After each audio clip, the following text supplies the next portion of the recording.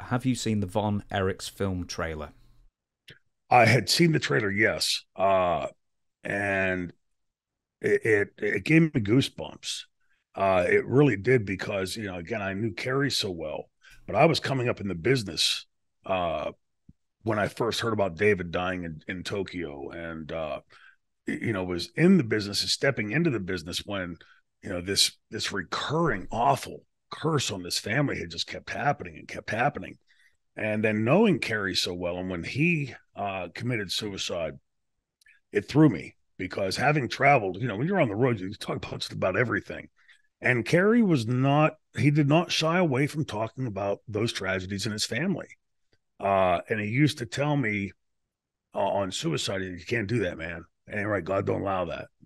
So when I heard that he had done that, uh, and and Kerry was a good guy. I I I, I know Kevin esoterically, uh, also a good guy, but uh, I didn't know David. I didn't know the other brothers. Uh, uh, I had met Fritz once or twice, but like a kid, hey, how you doing? Um, eh, you know, that, that, that's a, that's an awful thing that you that you place on a family. And I, and I'll say this about Kevin: when we were working on that promotion, trying to get it off the ground for Las Vegas, uh, we were in touch. We desperately wanted to work with Ross and uh, Marshall, and Kevin was very much the doting father that I would be. Um, if I'm going to let you have my kids, I'm going to make damn sure you're not going to let happen to my kids what else has happened. And you know, as a father, Kevin, good job. But I'm I'm eager to see the the, the show in a uh, in a weird backward kind of way. Uh, you know, I, I know the story. You know, I, I know the story intimately well.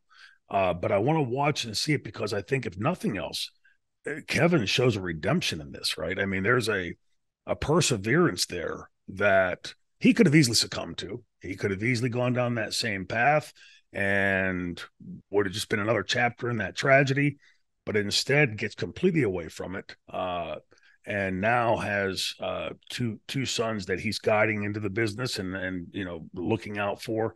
Uh, that's the part that I want to see is is because eh, that's the part I'm really unfamiliar with. After Kerry died, uh, you know, like I didn't really have any connection to the family other than talking with Kevin for for this promotion with about using Ross and, Marshall. So yeah, I, am very eager to see it.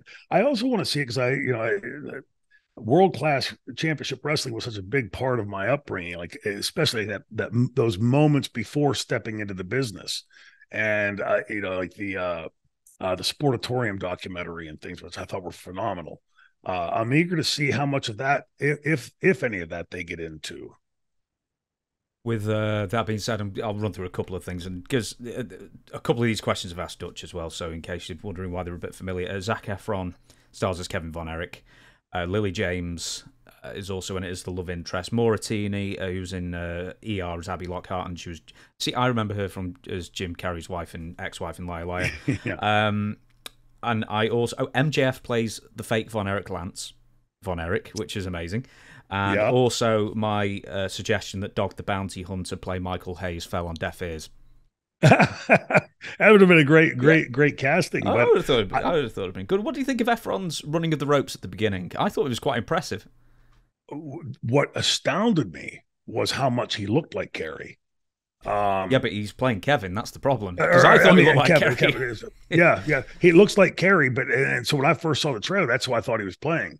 Uh, you know, it's how they do this in in, in uh, uh, Hollywood. You know how these guys, because you know Zac's not a huge guy, right? And Kerry was pretty big boy. Yeah, we've got five um, five foot eight Zac Efron. Yeah, yeah, and Kerry was what like six one ish, six two ish, uh, and you know really knew his way around a weight room. Uh, but you know it's it's enough that you can suspend the disbelief, especially those of us that knew the family. Um, and uh, you know. It, it's going to be interesting to see how Hollywood puts its tilt on this. And, and you know, these kind of shows, they, they're, you know, they, they sometimes play loose with facts and that kind of thing. And I'm a stickler on stuff like that because having, again, having known uh, uh, a lot of that inside story.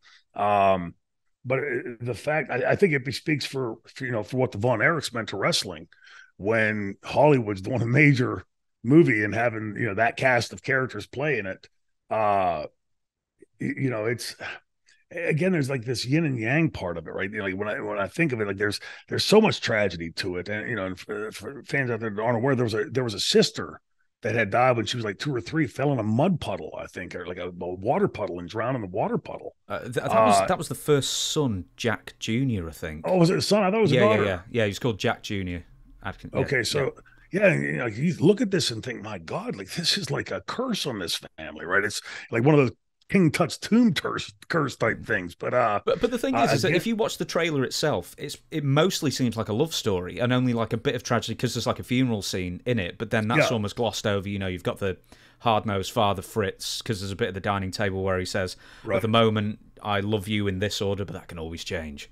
Which, yes, which was yeah. a bizarre thing to. Uh, I don't know if it was ever said or not, but who knows? But I'm wondering what the tone of the film's going to be because, as Same you here. as you said, you can't talk about the Von Erichs without just basically just talking about two hours of tragedy, essentially. Right. So I'm wondering what angle they will take with uh, uh, the story and liberties, if any, as well. Yeah, and I'm sure there will be liberties, uh, but also like I, you know.